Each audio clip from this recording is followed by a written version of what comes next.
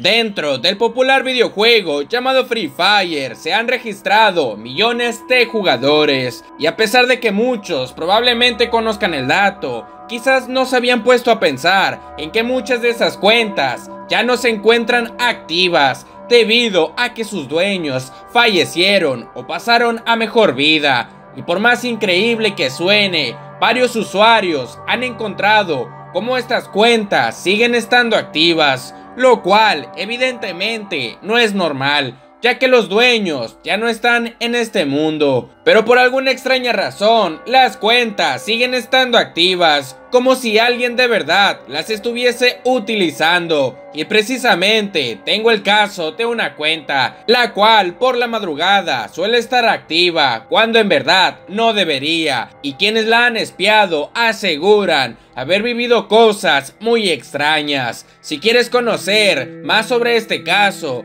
te invito a ver el video completo, pero antes de poder dar inicio a este video te recomiendo que apagues la luz y te coloques tus audífonos y disfrutes de este inquietante video. Y para no perderte de más videos así, no olvides dejar tu me gusta y activar la campanita al suscribirte, que es completamente gratis. Ahora sí, sin tener que alargar más la introducción, doy inicio al jugador que nunca debes espiar a las 3 de la mañana. El niño que murió mientras jugaba Free Fire.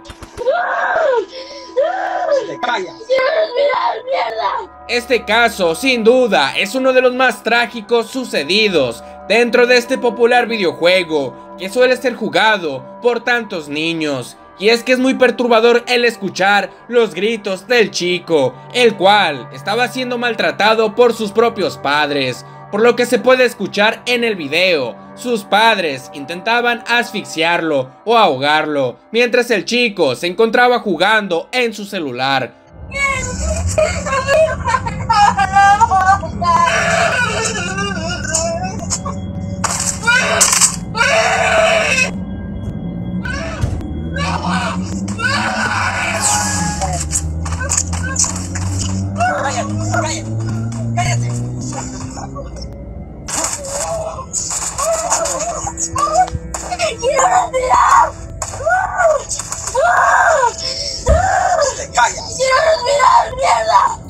Este video se logró viralizar rápidamente en todas las redes sociales, ya que este caso era realmente trágico y preocupante. Actualmente se desconoce por completo cómo se encuentra el chico del video. Muchas personas se han dado la tarea de buscarlo en el juego para ver si aún continúa jugando. Y a pesar de que hayan videos donde se menciona que el chico se encuentra bien, no se ha demostrado que sea real, y mucho menos los padres han mencionado el tema. Nunca se supo qué estaba ocurriendo en ese momento, por miedo a ser detenidos. La cuestión es que muchos jugadores mencionan haber visto que la cuenta de este niño aún está activa, pero lo que no muchos saben es que Free Fire oculta cosas realmente extrañas y perturbadoras. Y es que existen muchas cuentas las cuales están activas cuando en realidad sus dueños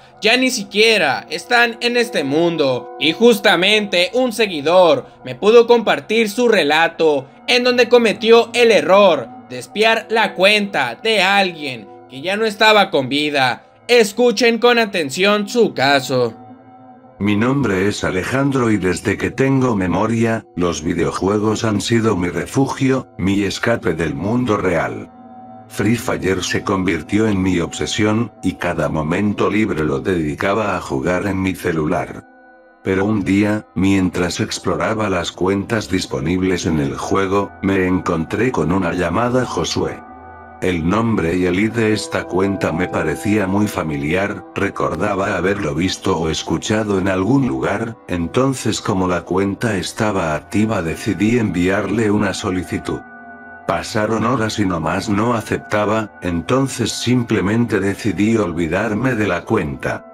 Pasaron unos días y de la nada cuando quería invitar a un amigo a jugar pude ver que ya tenía agregada a esa tal Josué y de hecho en ese momento él estaba jugando una partida, por lo que me dudo curiosidad y decidí espiarlo. Al principio todo normal, parecía ser un jugador más, aunque debo admitir que, si era bastante bueno para jugar, por lo que pensé que estaría bien enviarle una solicitud para jugar los dos.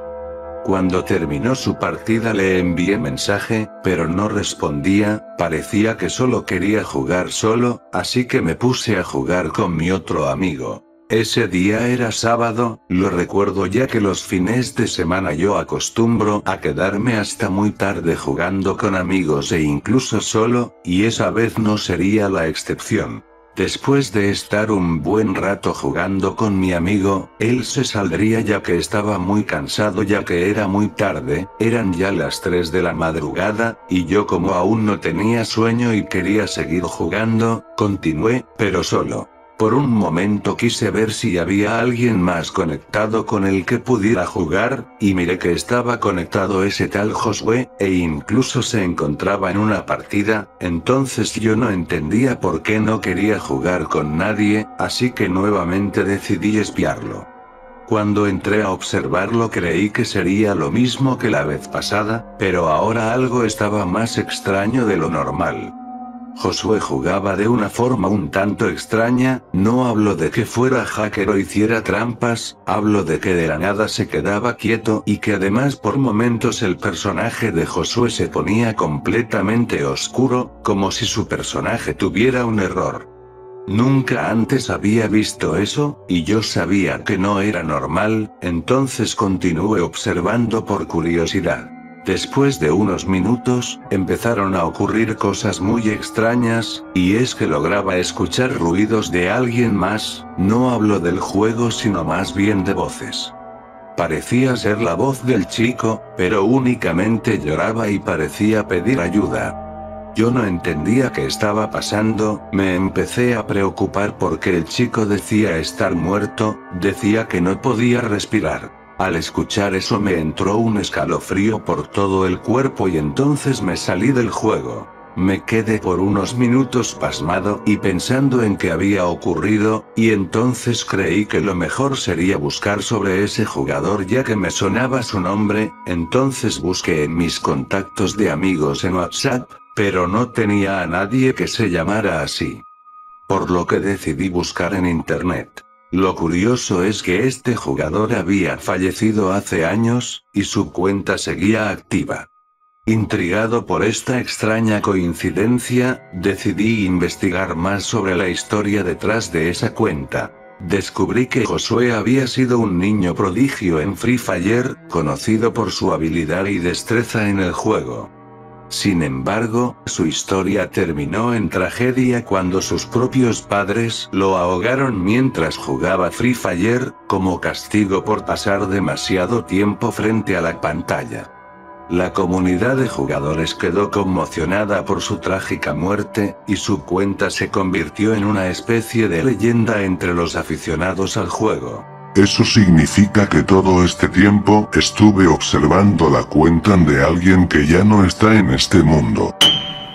Y bueno amigos, hemos llegado al final de este video. Si les gustó, no olviden dejar su me gusta y suscribirse. Ahora sí, sin nada más que decir, me despido.